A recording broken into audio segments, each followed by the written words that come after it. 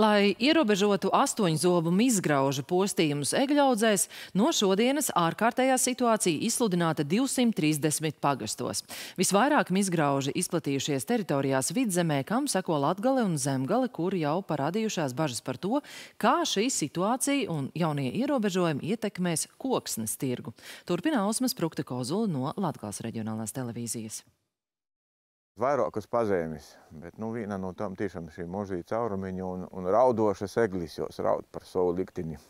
Tā pirmās un acīm redzamākās mizgrauža klātbūtnes pazīmes raksturo Ivars Sikaunieks. Viņš gan kā Viļānu apvienības pārvaldes vadītājs, gan saimnieks privātam meža īpašumam ar šo kukaini cīnās jau vismaz trīs gadu garumā. Šis kūks jau mums ir, kur ir apzīmēts ar sarkanu krosu, kad viņš ir, ir invadēts un viņš ir jāņem jāņem ārā. Mežā kādu brīdi ir tāds trūksnis, jo kukaiņi aplaudējuši uz uh, vīnu šādu kūku uzbruka apmēram 200-300 kukaiņi. Šobrīd vidēji egles baļķi atkarībā no pieņemšanas vietas, diametra un kvalitātes ir maksimums 90 eiro par kubikmetru vērti.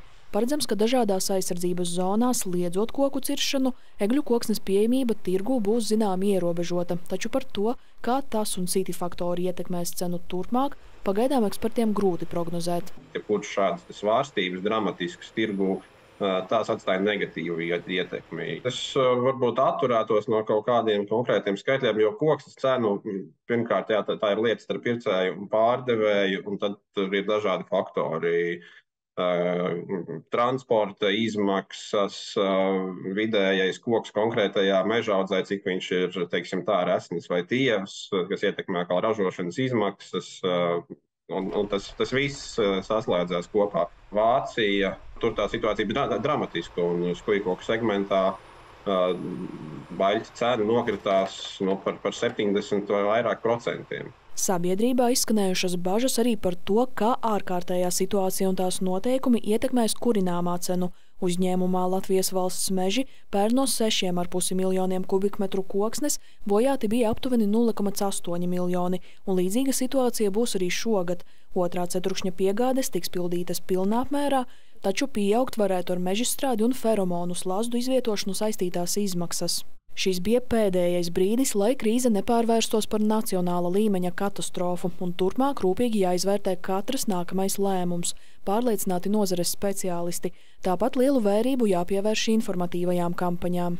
Vēl viens tāds pormetums, eh, nezinu tīši kam, bet eh, kad ļoti maz, eh, vismaz es arī kā meža īpašnieks tiek stostīts, kas tad mums būtu jodara, teiksim, varbūt ļoti daudz varbūt veidoja tādus seminārus, bet tieši praktiski, kā tad varbūt jolīk šī, šī kukaiņu slozdi, kurus vai ir kādi citi pasaukumi joveic, jo ļoti maz par to informāciju, un mēs izrodamies, ka mēs esam tur, kur tagad jā, esam, kad ir apdraudētas mūsu zaļais zelts Latvijas. Jā. Tas būs ļoti liels izaicinājums jebkuram, ne tikai mums, bet arī pašam valsts meža dienestam šo sekmīgi uzrakstīto realizēt dabā. Sāksim realizēt rīcības, tad arī parādīsies tie riski un, un, un, un faktiskās iespējas.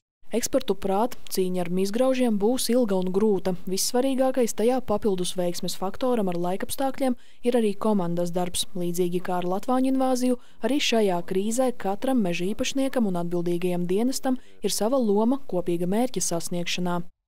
Ausmas Prukta Kozule, Vitālijas Dudarenoks, Latgals reģionālā televīzija.